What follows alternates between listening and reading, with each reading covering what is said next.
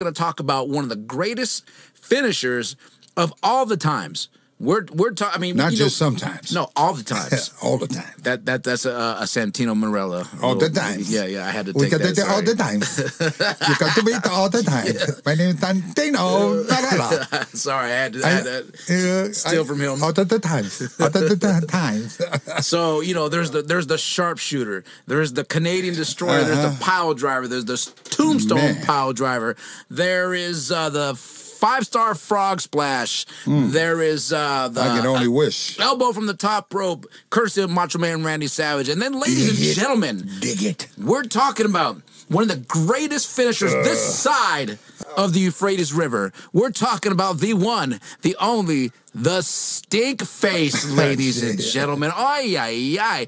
Big Quiche, first of all, who came up with the stink face finisher? Oh man, I, I don't know. It had to. It, was, uh, it had to. Uh, till this day, I'm still looking for this uh, young or old lady. Sounds like an old lady's voice. In Mobile, Alabama, it was a house show. Mm-hmm. Sunday, it's a house show against me and the boss man, Oh, Ray Traylor. brother Ray Traylor. That's my man. He was a good dude, man. Love Cobb I County, love- Georgia, big but- boss man. Come on now. So they, me and him, they married us to, you know, around the circuit for a bit. Mm-hmm. I was happy, you know, anytime they bring in some new talent or character, they're building that. Number one, you get to get out early, right? mm-hmm. And so me and Traylor, we'd open up the show, man, and we'd get out there. And, you know, we, Ray can go, you know what I mean? And when he throw them damn clothesline and them boots to the head, Mm-hmm. you definitely gonna feel it, right? And so we would have our normal match, man, and you know, one time I gave him a clothesline. And when I gave him a clothesline, you know, the Oos kind of took a bump over there to the corner, but didn't go down. Right? So he just kind of just stumbled backwards and landed in the back turnbuckle with his back there. And of course, this is the normal stink face, which we all know it today. Mm-hmm. I'm looking the opposite way. Uh-huh. And And all of a sudden, no, I didn't even turn yet. All of a sudden, I heard a thump. when I heard that thump, mm-hmm. and I haven't turned yet, and uh, you can hear the crowd were just roaring. I, I said, "What the hell are they roaring for?" I, I clotheslined him a while back, and all I can hear was an old voice. Rikishi! Rikishi! Rikishi! turn around and stick your butt in his face. And I tell you, Joey, that's where this, like, I'm actually turning around, right? But I'm trying to find out who's yelling that. Until this day, I, I don't know who did it, right? But I can hear it around, around the front row, man. And this is where I turned. As I turn, now I'm looking at, say, you're boss man, and you're on your butt, uh-huh. and I'm looking at you, mm-hmm. and then I go to take a step. Soon as I go to take a step, I can hear like the fans. It's like a volcano start ready to erupt. wow. It's a, what, what we call a pop. Mm-hmm. I go to take another step. Now it's getting louder and louder. Take another step, and it's getting louder. Now I said, okay, I know every time I take a step, it's getting loud. But what if I just play with him and just slow down a little bit? And that's where the slow stepping took another step. Boom, son. Now keep in mind, I had no idea what the hell I'm gonna do because I only got so many steps to get to him. Mm-hmm. So finally I get there. The crowd's just erupted, you know, but I'm facing towards him. Right? And then, you know, he says to me, he looks at me, he says, We got him now, baby. Turn around and stick your butt in my face. That's Big Boss Man. Big boss man. I said, I'm looking, I said, damn, now keep in mind, we've been going like, you know, 15 something minutes, baby oil, my hair is wet, you know, you know, leaking down the crack of my ass on my thumb and stuff, you know what I mean? So I go to turn around, man, and I turn around, you can hear the pop, boy. Eh, people erupted, right? And you, you just hear, give it to me, baby. We got him now. Give it to me, baby. And I just looked at him. I said, okay. Boom. Man, I gave him the stink face. There was nothing else to do after that. I mean, no matter what spot we did after that, you couldn't get it as loud as a stink face. Boom, the those fade out. Kishi Savate kick him. He land, dropped it, dropped the banzai one, two, Two, three. three. And we went home after because there was nothing else to do. But that day, you know, in WWE, when you do these house shows, they got these agents and so forth. You know what I mean? And they'll have guys like you know uh, Dean Malenko, you know uh, uh, other cats like you know uh, Tony Garea, Jack Lanza. These are all old school cats, man. Are good, good people, you know. And uh, they would give a report back to the office, which match was good, which match they should you know put on Monday Night Raw, and blah blah blah. So come Monday, I'm coming to TV. I never knew if I was going to, you know, be booked, uh, but I knew it was going to be some type of enhancement match, working against, you know, uh, enhancement guy, uh, and so forth. But they got back, dude, and they said we want you to do that move out there. Now this is crossing into attitude era, right? Okay. it's crossing in now, right? That's, that's basically where when the Rikishi character kind of stumbled in there. Anyhow, boom, we did that. Thank you, uh, Drink Master. So the first recipient of the stink face is Big Boss Man. Big Boss Man. Yeah. And then after that, when it debuted on Monday Night Raw, so they go by ratings and stuff like that. You know what I mean? They're monetizing all that. Right. You know, we all understand what that works like. You know, higher ratings, you know, higher money, blah blah blah. So, you, and also the merchandise. So everything just start, you know, the wheel just start turning fast for me. Before you know it, I had you know t-shirts out, merchandise, yellow glasses. You know I mean? All kind of Rikishi commercials and stuff. You know, so uh, you know I was on to something after what five or six characters you know, finally, you know, it felt good. Like, finally stuck with it long enough to really, you know, be able to, you know, have something that people can bite to, you know. So b- before, uh, so WWE basically said we want this every night. Like this is your new finish. They they did they tell you, or is pretty much common knowledge this worked? I'm gonna do this every night, or did they Well, tell for you? common knowledge, right? Nobody tells me what I'm going to do as far as, uh, you know, when I'm working my character. Sir, right? Eh, For me, like you know, we all know, like no talent goes out there and not pulls out the stuff that people pop to. You're an idiot if you if you don't think that way. You know, you got to go out there and you find like you know, you know, consecutive uh, signature moves. Like mine's, I threw in the stink face, threw in the banzai drop. You know, I threw in the savate kick, the 360 at 450 pounds. You know, all these signature moves. You know, the headbutt. I wanted to change it. You know, for years, you know, uncles at the headbutt were always known for, you know, hard heads, you know. But, you know, and then my brother came in and, you know, revamped the Samoan uh, the Samoan drop, you know, where you launch the guy to the air and and so I always wanted, you know, out of my family, I tell each and every one of them that trained with me and up underneath me, you listen, you're going to be recognized as one of the family members. But picture this when you see all of us on the poster, you want to be able to be be able to be noticeable, like stand up. We can only have so many long, you know, long wet hair, you know, like ah, like that, that look, right? You, you gotta. So, I'm the first bleach blonde hair in the crew. yes, You know what I mean? So I figured it out. It took me the hell of characters to figure it out, but the one thing is I never quit. I never quit because I knew I was worthy. I knew it was just finding the right character that fit fit me, and Kishi was was it. There's not too much that's off from how I really am with that character. Were you able to get used to that finish uh, real quick?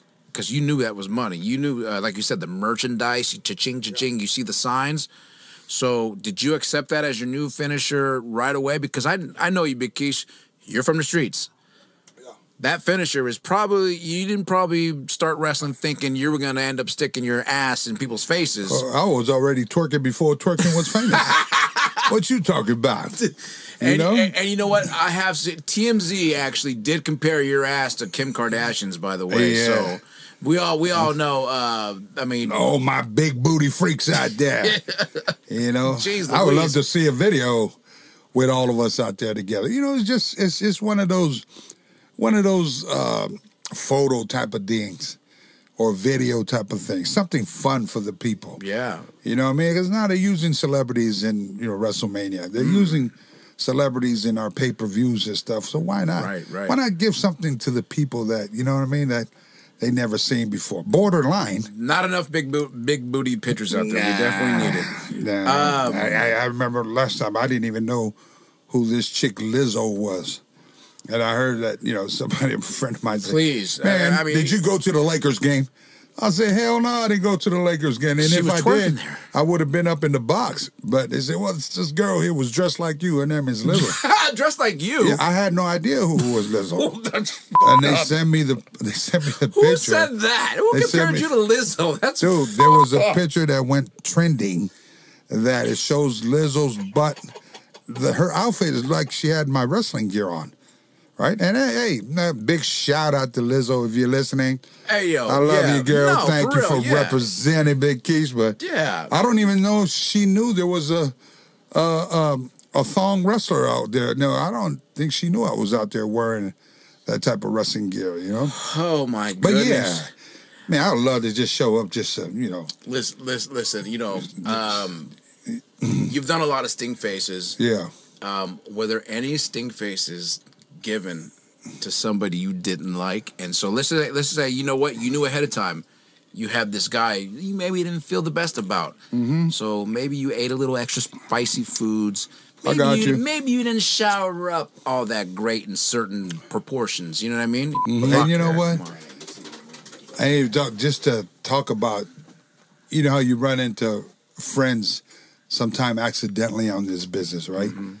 And he truly let me know that he was definitely one of my good friends. How's that? because for him to say stick your ass in my face and never has been done before i didn't know how to I, I didn't know how to sit on his face.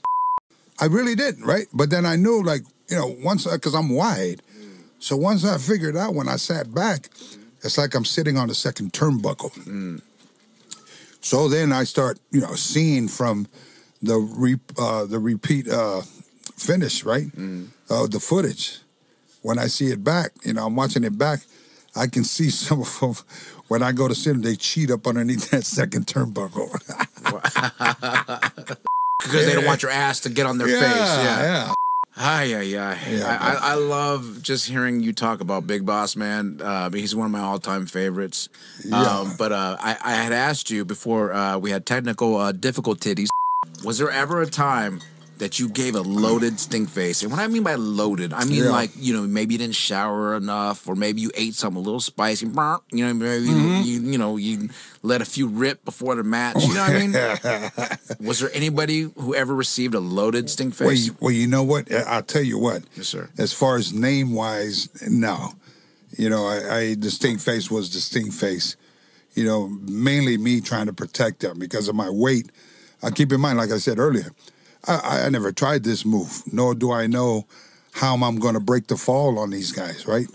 As you do, you do want to be safe, right? you don't want a big 450 pound guy Break their neck. sitting on somebody. Yeah, th- I mean, this is the part where you know people think it's funny when they watch it, Mm-hmm. but there's skills to this, man.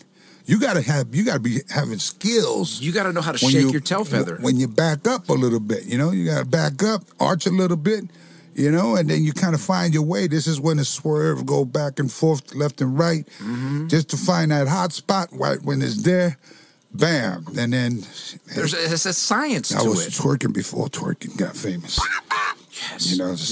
you face. working before And twerking so- was a thing. That's right. And I tell you what, you know, What's that? So all the my enhancement matches, Mm-hmm. you know, uh, I brought it to these guys, right? Because Mm-hmm.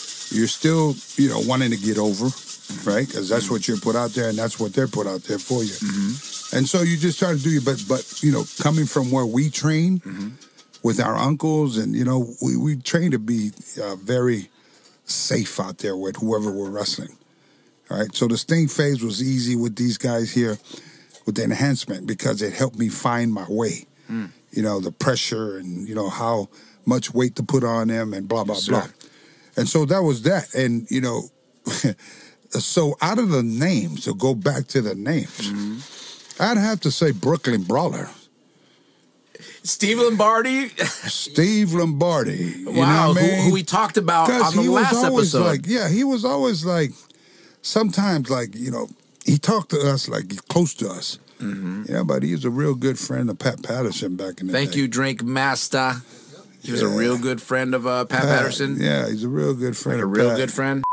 I don't know what type of friend. I never was in their business, but you know, yeah, you you hear you hear things. Their stories I- are out there. They're out do I give a shit? They're you know out what there. I mean? But We don't care. yeah, when I got a chance to work, I just, you know, I just hated, you know, I hated people that were even affiliated with being like stooges.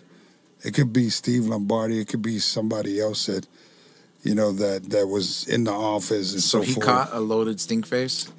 I gave him my, you know, I got three pair of trunks. Mm-hmm. You know, I got the one that never comes out the Ziploc bag. Mm-hmm. I got the one that was semi-washed, meaning when I say semi-washed, it was worn the night before but hung over the AC in the hotel room. Right. And then you got, I got hella ones that are nice, brand new. Those are the ones that I wear when I'm working against top, top talent or people that I don't, you know, I really didn't give a shit who I was giving the stink face because Right. the fact of the matter is, is like when I came down, you know, came coming back to this new character, uh-huh. and I walked through the, you know, wrestlers, man, their trip, you know what I mean? You know, they'll they'll they'll want to say something, but if it's towards a person that they know they can't they can't be dealt with, they're gonna keep it to themselves and kind of just, you know, backdoor you, meaning talk to somebody else about it, right? Instead of having the balls to come sit. But so when I'm walking down the aisle, you know, a lot of people standing around and going through this, but I'm walking down with the new song on, and, and, you know, I can feel people talking shit. I can feel it, and it got, you know, when I'm walking by, you know, I walk by, I can see Big Show, I see other guys like uh, who else, um, uh, Kamala, the, uh, you know, uh, The Ugandan giant was talking. no, no, I'm just saying. I can feel certain people. I didn't say that they was talking. Oh. I'm naming the names. Oh, yes, sir. Let's clarify this. Yes, right? sir. Yes, sir. And so, you know, Steve Lombardi was there. Uh, You know, he was one of the guys there, Pat Patterson. So they were sitting there talking. And I just got, you know, you know, I could tell when people start talking, you almost feel your ass start get hot. Right? And then I can hear people, boy, look at that. And so in my mind, the first TV I came out, that put a stamp in my brain, Joey. Mm-hmm. Meaning that every motherfucker that I'm working with, you can rest assured, if I knew or had any doubt that you was the one that was talking behind my back with this new character, you can rest assured your ass gonna get that that third thong. Steve Lombardi got the third thong. Pat Wow. Patterson got the third thong. As his back came out and he had the he gave me the stink face, but it looked like he had like stains on there. All right, rest rest in peace. But you know, he was a mind a genius, mm-hmm. but never really, you know. And I can say this because we didn't have that relationship. okay. Wish I would. I never did anything to this man and so forth. But hey, I guess when you have your favorites, you got your favorites, man. Right. I'm just not the one, man. I I, I earns my respect. So you and Pat Patterson didn't really get along I, I just we didn't. Not that we didn't get along. We wasn't buddy buddies like he is with Brawler. to different talents and stuff. And no, there- yeah, it is what it is, man. But it didn't stop Big Keys from moving forward. Yes, sir. Because at the end of the day, I laughed all the way to the bank. Right. hmm You dig? Hot doggy. Yeah, y'all gonna learn something from me today, man. Y'all wrestlers, you gonna learn something.